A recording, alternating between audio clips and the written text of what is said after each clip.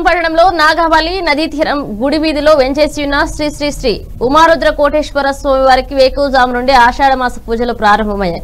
శ్రీ శారవారి నామ సంవత్సరం ఉత్తరారాలయం గ్రీష్మ ఋతువు ఆషాఢ మాసం శుక్లపక్ష పాడ్యమిని పురస్కరించుకుని స్వామివారి పంచామృత సహిత అభిషేకాలు అర్చనలు జరిగాయి.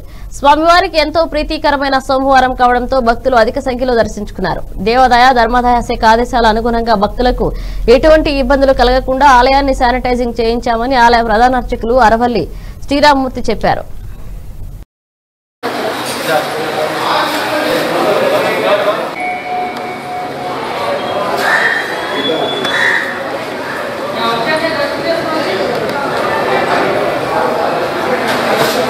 ఈ దేవాలయంలో కరోనా సందర్భంగా లాక్డౌన్ అయిన తర్వాత దేవాలయాన్ని తెరిచి శుభ్రపరిచి ఈరోజు ఆషాఢ మాసం ప్రారంభం రోజు సోమవారం సందర్భంగా భక్తులందరూ కూడా దర్శనానికి వచ్చారు.